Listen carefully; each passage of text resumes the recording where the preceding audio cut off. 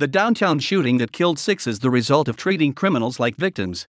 Smiley Martin, 27, was released from prison in February after serving less than half of a 10 year sentence for punching and whipping his girlfriend with a belt while she was hiding in her closet. Despite pleas from the Sacramento County District Attorney's Office that he should not be released as he poses a significant, unreasonable risk of safety to the community, just weeks later, he and his brother, 26 year old Dandrae Martin, were allegedly involved in a gang shootout in downtown Sacramento in the early morning hours of April 3 that left six people dead and another dozen people injured. Just weeks later, he and his brother, 26 year old Dandrae Martin, were allegedly involved in a gang shootout in downtown Sacramento in the early morning hours of April 3 that left six people dead and another dozen people injured. The tragedy is just the latest example of what happens when society fails to punish repeat violent offenders, Sacramento County Sheriff Scott Jones told Fox News Digital. The best predictor of future behavior is past conduct, and violent people, they're going to be violent when they get out, and that's what we've seen here, Jones said. Every crime has a victim, and these victims are racking up, sometimes minorly and sometimes catastrophically, as we saw in Sacramento on April 3rd.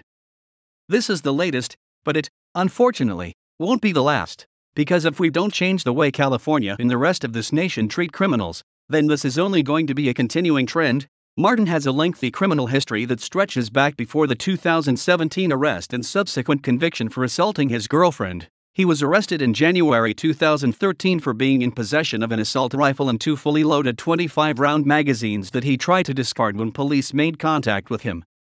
A judge sentenced him to probation in county jail in that case. Then in November 2013, Martin and three other suspects entered a Walmart and robbed the store of $2,800 of electronics.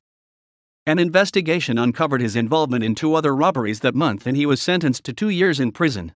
Three years later, in November 2016, Martin gave law enforcement officers a fake name and tried to flee when they said he was being detained.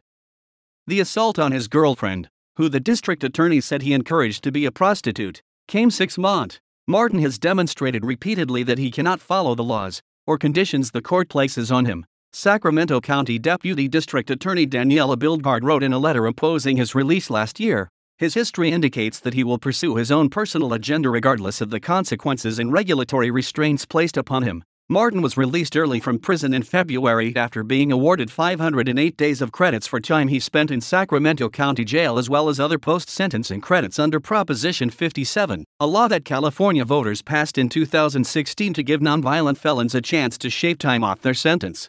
Jones cited laws like Proposition 57 for letting violent offenders out of prison, arguing that Americans now have collective amnesia about the tough on crime policies that reduced crime in the past few decades. In the late 80s and early 90s, violent crime in California and across the country was so bad that it gave rise to things like three strikes, gang enhancements, gun enhancements, things to really address the out of control violence that was occurring.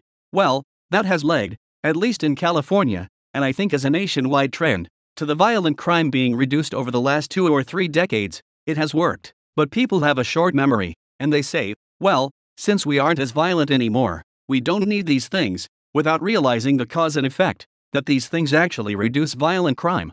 Jones said, as we chisel away at these things, as we chisel away at three strikes, as we chisel away at enhancements, as we let people out of jail, as we start treating criminals like victims and victims as criminals, it's entirely predictable what is going to happen, and we're seeing it play out. Martin is not an exception when it comes to early prison release. Out of 4,070 inmates who were sentenced in Sacramento and released between January 2019 and May 2021, more than 1,300 served less than half of their sentence, according to the Sacramento County District Attorney. Homicides, meanwhile, have surged at the same time.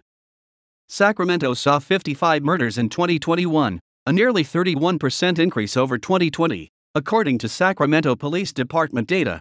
In four other major California cities, Los Angeles, Oakland, San Diego, and San Francisco, homicide surged 17% last year, according to a preliminary analysis of data by the Public Policy Institute of California.